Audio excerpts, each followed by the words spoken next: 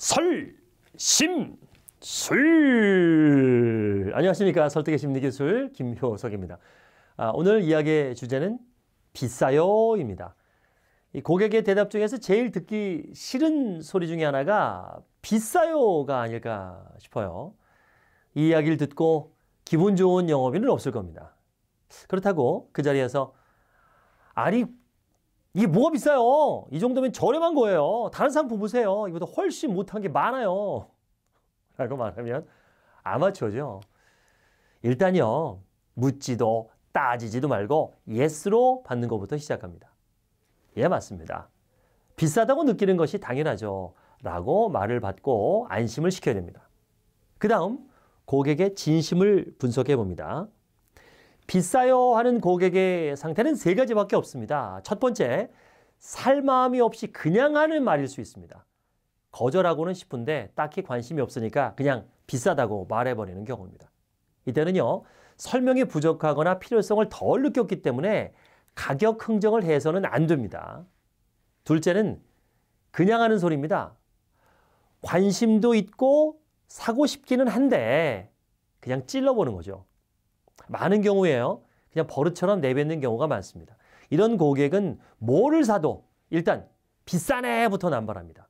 고객 중에 와 싸네라고 하는 고객이 얼마나 있을까요? 그냥 하는 소리일 수도 있습니다. 세 번째는요. 진짜 비싸다고 느끼는 경우입니다.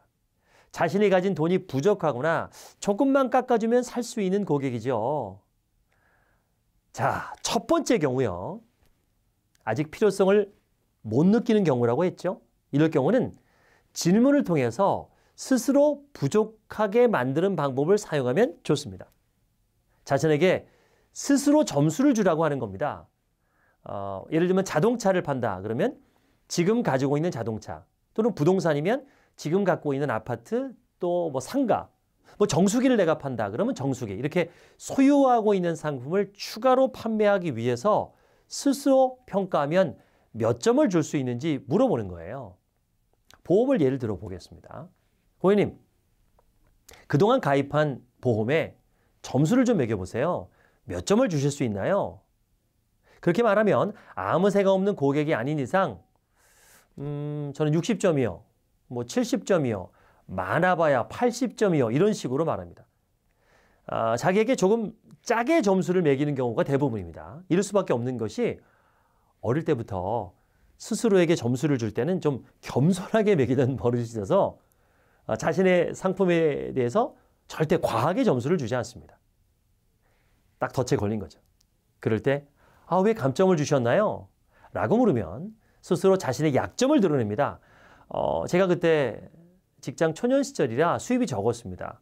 또는 뭐 맞벌이를 하다가 외벌이 하는 시기라 그때 여유가 없었어요. 대학교 4학년 때 선배님이 권유해서 가입했는데 그때는 뭐 시작만 하고 나중에 키우라고 해서 이렇게 했어요. 근데 그분이 지금 쌀깎기 하세요. 이런 식으로 본인이 얘기를 해요. 정보가 막 나옵니다. 이때 고객에게 이런 질문을 하셔야 됩니다. 스스로 말씀하셨던 감점 요인 중에서 보험 사고가 발생하면 어떻게 하실래요?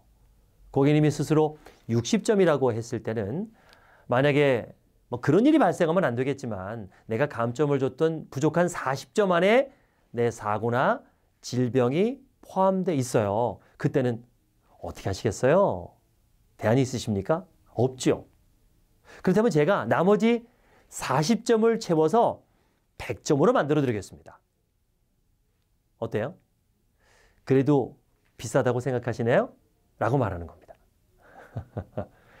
여기서 중요한 건요. 스스로에게 점수를 주라고 묻는 겁니다.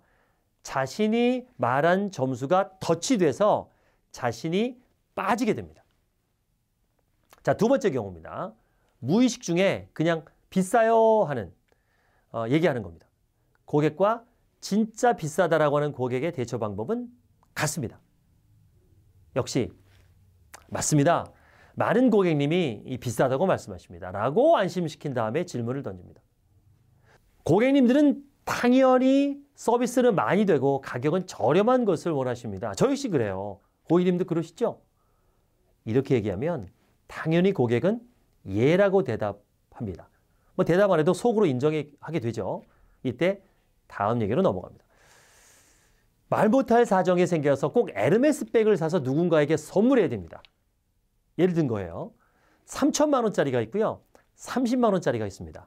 뭘 사시겠습니까? 당연히 3천만 원짜리를 사야겠죠. 왜냐하면 30만 원짜리는 뭐 made in 남대문이나 뭐 중곡동 이런 좀 짝퉁 느낌이 좀 나지 않나요? 어. 아, 사주고 나서 나중에 이게 짝퉁인 게 문제가 생기면 이 30만 원보다 더 큰 손해를 볼 수도 있죠. 그런데 서비스는 명품이고 가격은 남대문인 상품이 있을까요? 명품은 비싸게 정상이라고 생각하지만 막상 자신이 구매할 때 서비스는 명품을 바라면서 싼 것만 찾으신 분들이 있습니다. 세상에 그런 상품은 없습니다. 있다면 그건 사기입니다. 이렇게 못을 박을 필요가 있습니다. 그리고 나서 긍정적인 생각을 유도할 필요가 있어요. 어, 가격이 부담되신다면 그거 말고요. 이 상품의 어떤 점이 마음에 드셨나요? 라고 질문하면 대부분 좋은 점을 솔직하게 얘기합니다.